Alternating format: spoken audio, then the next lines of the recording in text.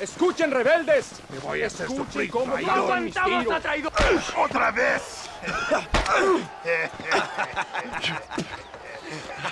Welcome to Mexico. My brothers and I are just discussing the future of our country. Okay, let this man go. And who are you, gringo? I'm no one. But unless you want this town to tear you and your boys to shreds, I suggest you let him go. And you think you could tell me what to do, friend? Oh, you should listen to him, friend. Look at that. You want to risk it?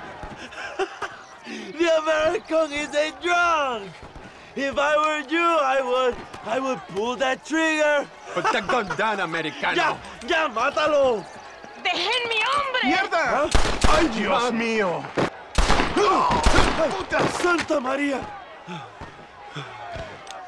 So you want to settle this now, friend? Or you want me to shoot you in the head right now for that poor girl?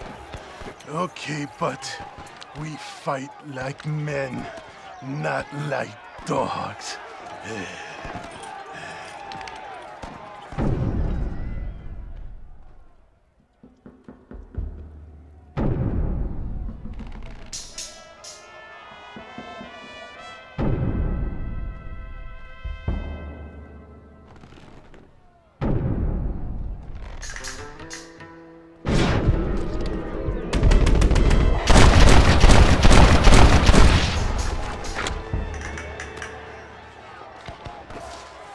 Thanks, my brother. Now the people are finally ready. Today we overthrow the Coronel.